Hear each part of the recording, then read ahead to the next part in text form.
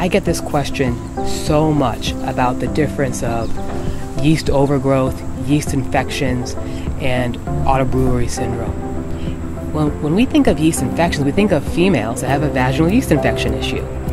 But what we're trying to move to is that if a female can have a vaginal yeast infection, they probably have yeast throughout their body.